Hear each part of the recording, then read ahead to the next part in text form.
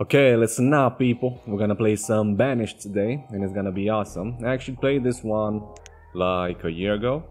And if you know me, you know that I like to put mods on it. Come on, it's it's it's kind of boring without mods. Vanilla versions don't don't go well with me, so so it is what it is. And also I'm gonna put this on hard, so bring it on baby. And I'm gonna put a name? Let's name let's name it Tigrum. And let's do a seed and let's start let's go. I like how they do out of context stuff like they have milk on the cow. But what do you do when the cow doesn't have milk? Hmm.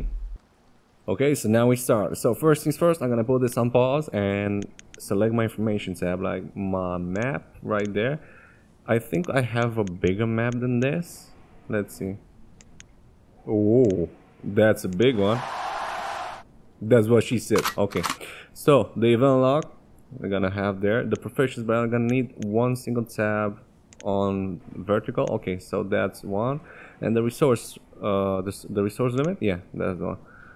And I'm gonna put some numbers in it first. Let me just see Okay, so what the resource limit is doing, uh, it's kind of tricky, but it's actually very useful right from the beginning. Because let's say I want a maximum number, a maximum amount of resources to be brought in, in into the village. And then my laborers will stop bringing that resource and will go somewhere else that it's, uh, it's actually need for them. So that's what it does basically. Plain and simple. I don't remember the interface being like that before I put mods but I guess that changed. Okay, so I'm gonna put down two stockpiles that are more than enough for all the resources these laborers will gather. And oh come on, that's two blocks. Let me just select this area and Right now, everything that I selected, they'll gather from me and put them in the stockpiles. This is gonna take a while. So I was checking out the edge of the map, discovered mountains, that's cool. And also we have three big lakes. And also a central river. This river is very important because we're gonna make some trades on it is the only way you can you can you can bring stuff into into the village and make trade with I mean with traders.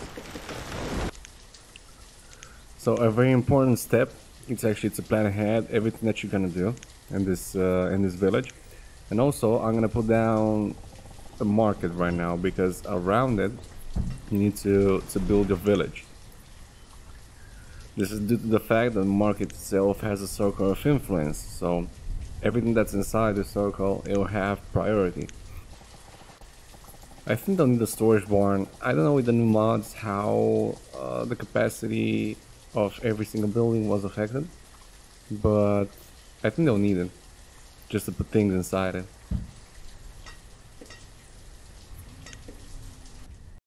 So one of my main objectives is to not get my people killed. That being said, I will need to provide them with enough food and fuel to get through the winter.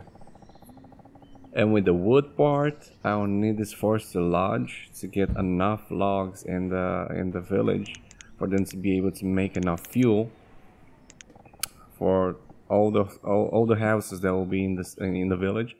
And also this gatherer's hut will send workers in the forest to gather like roots, berries, every every single thing that you that you find out there in the woods and bring them back in the in the storage barns for them to eat. So bam two main objectives accomplished. And also I will need this um, I will need this road. Uh, it's a dirt road. It's gonna do its job eventually. Uh, I just need them to, to move a little bit faster between buildings to do their jobs. If you ever get bored just zoom in and you'll be able to see a lot of details in uh, in this game and also trees are falling by themselves because of age in this game. How awesome is that? Come on, people, let's go. We need to work, work, work. Come on. Come on. We need to get through all the stuff until winter arrives. So shake a leg. So I actually have two builders right here that are struggling to build this barn. Come on, man. What's wrong with you? You want me to pay you? You won't get paid. So go and work. Ooh, first building up. Thanks a lot. What can I say? Oh, it's so slow. Oh, look out, look out. This is the first house. Where I should place this? I guess right here. It fits. It works. Just in front of the market. And I also need a woodcutter. So this is the actual person that's taking the logs from the foresters and transforming it into into fuel.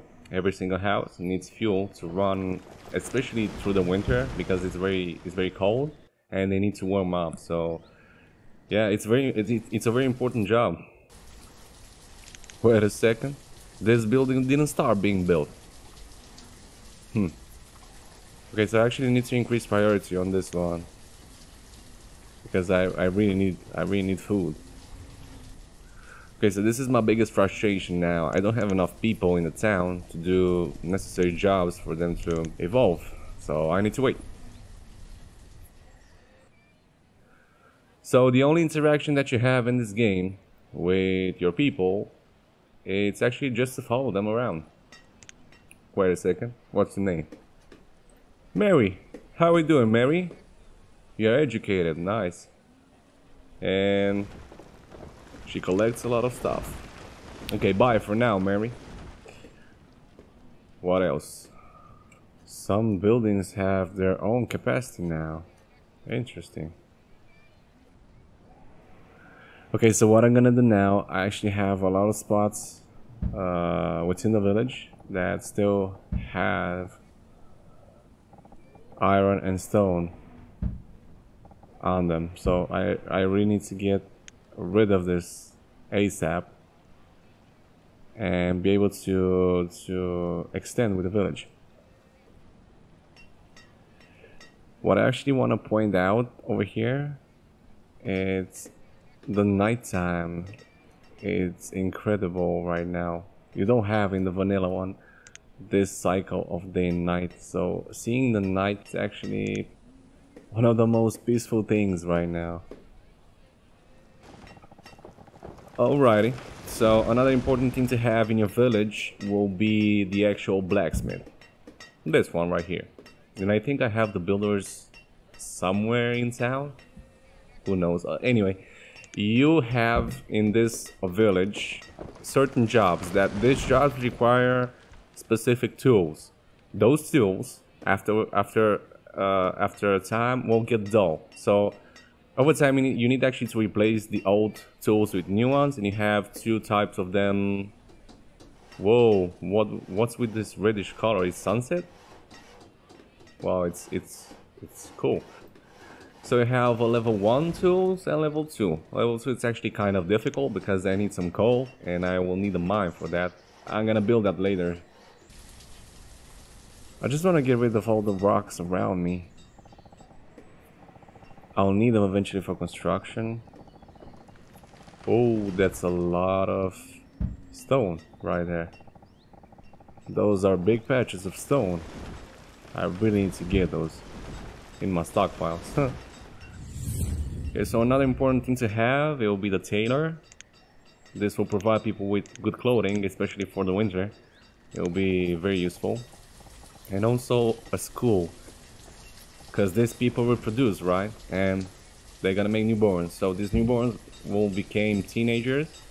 And um, they'll need to to get educated just for them to, to do their jobs properly and not die because they can actually die if uh, if they're not educated enough if you're stupid you can't do shit so schools for everyone vote me president so this is all the time that I had for this episode. Hope you enjoyed. Don't forget to share and subscribe. And um, yeah, see you on the next one. Bye bye.